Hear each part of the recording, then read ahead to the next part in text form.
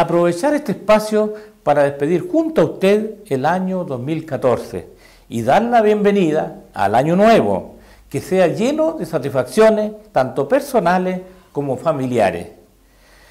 Para quien les habla, desde la Cámara de Diputados del Congreso Nacional, seguiremos trabajando en pro de hacer crecer y desarrollar de mejor forma o de mejor manera esta región que tanto anhelábamos. Así que la mejor de las suertes, la mejor de las felicidades para usted. Felices fiestas, un abrazo a todas y todos.